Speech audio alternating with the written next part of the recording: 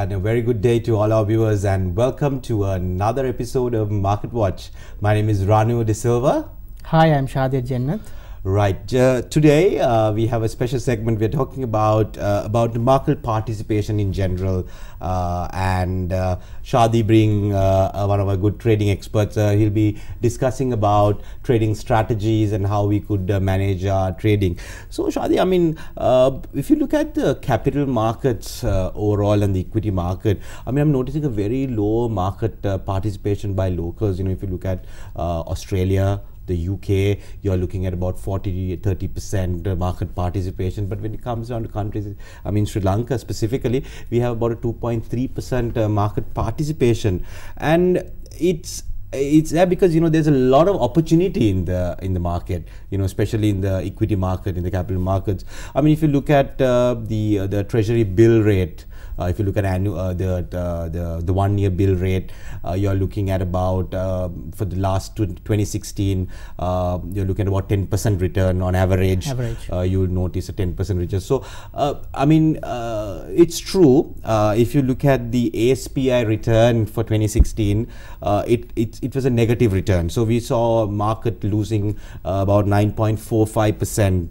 But however, but I want to highlight was that if you saw the uh, the performers in the market, you know, uh, I'm talking about good counters where most of the research houses will be covering and where they're fundamentally strong. You know, I'm looking at counters like Colombo Store, Cold Stores, Hemas, Alumex, Hem, Alumex, exactly. You know, TJL. TJL. So these are some of the very good performers in the in the market. And if you look at an average return for these companies for the year 2016, you're looking at about a 30% return. So they've obviously outperformed, the uh, Colombo Stock Exchange index as well as any money market product out there. So uh, in the local products, of course. So uh, so I'm thinking there are a lot more opportunity. Uh, and why people wouldn't see it. So I mean, Shadi, in your opinion, why why why don't the investors see this opportunity?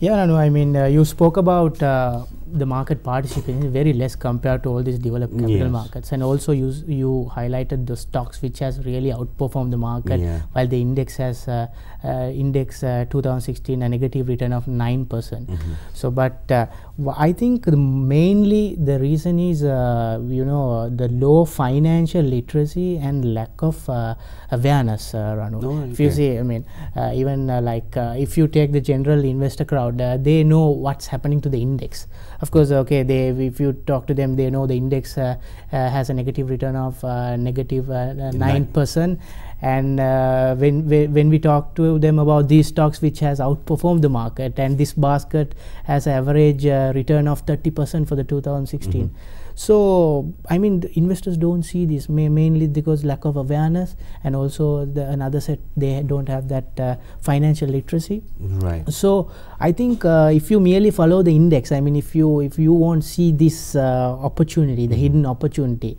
So I think to to see this opportunity to to make best use of this opportunity, you have to become an active investor. I mean, not a passive investor. Mm. So you have to act to be an active investor to see this opportunity.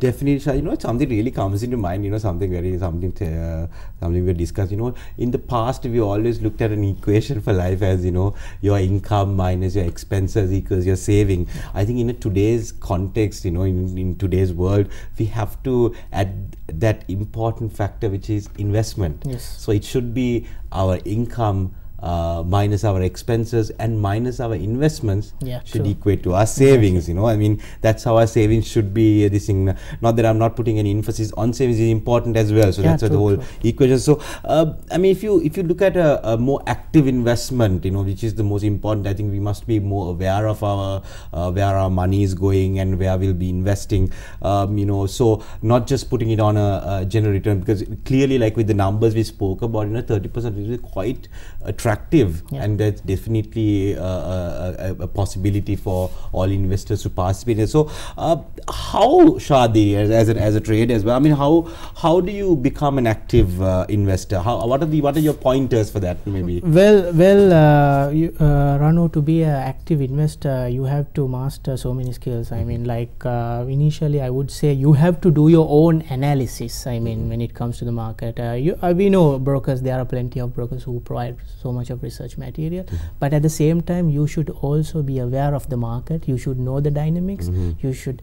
So you have to do your own analysis. I Yeah, would say. definitely, Shadi. It's something that really comes in mind also when I speak to uh, my uh, institutional as well as to the retail clients. But something I always mention is, you know, today when you buy a, let's say, a, a television, Yeah. you know, how much research material that you could personally read, Exactly. and you're going to find out what the reviews are like. You're going to read about the spectacle, and you're not going to just depend on your salesperson for this information.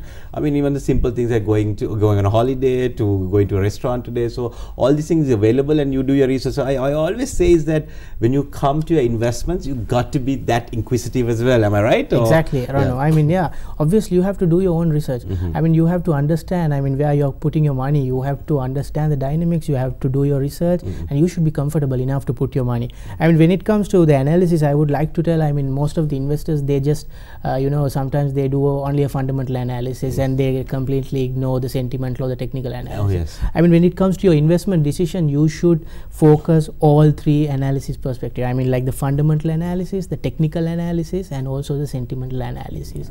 All three analysis play a major role in your investment. It's like a three-legged stool where your investment decision Yeah. should uh, should be based on this, and the bench becomes very strong, and Right. and you have a good trading decision.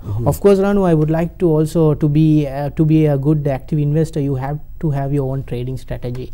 I mean, once you make your trading, uh, I mean, uh, you, when you do your own analysis, once you are done with your analysis, you should have your trading strategy where you have to decide the size of your trade, then your profit target, and let's say if the trade turns against you where you're going to cut your losses and also the timing of that trade.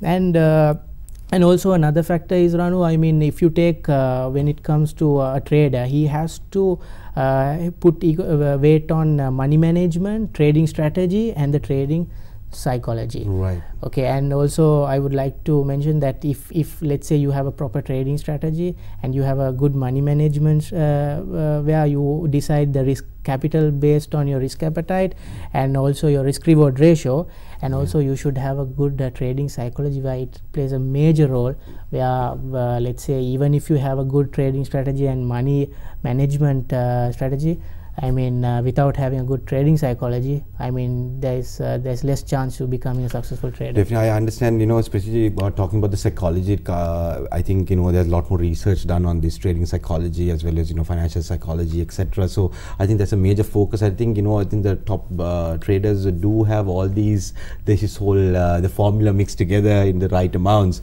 So Shadi, I mean, if you look about talk about uh, you know your emotions and controlling your psychology in in your opinion, I mean, in, in, uh, how do you manage this, and what are the factors that we should be considering uh, as an investor, somebody getting in onto the market now, or who's somebody who's already in the market? Uh, how do, should they manage these uh, factors?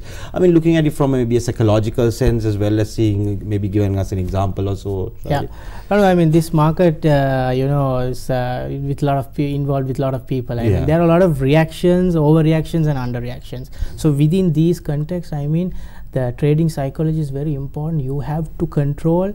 Uh, major negative uh, emotions which can uh, negatively influence your trading uh, action. Once you put your trade into action, uh, the major emotions you have to face is, I mean, uh, as you know, it's the fear, the greed, and you sometimes you will be angry with your trades uh, Okay. your ego coming into action so what you have to master these uh, i mean uh, master skills to control these emotions and you have to free yourself from these emotions and be a rational investor rather than being a uh, gambler.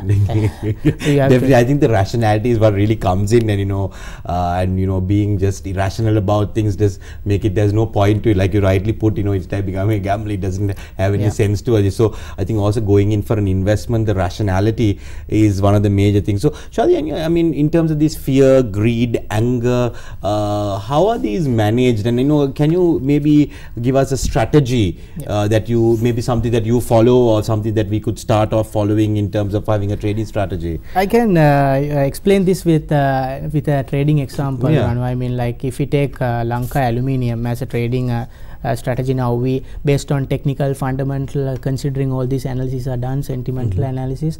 Now we have uh, decided to let's say enter the trade at 71 levels, and uh, we have a profit limit to exit at 90. And let's say if uh, trade goes against us, we'll cut our losses at uh, if it goes below 60 so now this we have a trading strategy and a plan now Okay, so this is what you planned prior to you looking at the market, taking consideration all the research, etc. Yeah. Uh, now you come to the level where you're looking, okay, this is where I like to exit. Yes. Sorry, I beg your pardon. This is where I like to enter, Enter. the uh, the counter or the, the the asset, and then this is where I like to exit. And because you have a psychological, or you put yourself a target. Yes, and right. then of course to manage your risk, Risk. factor.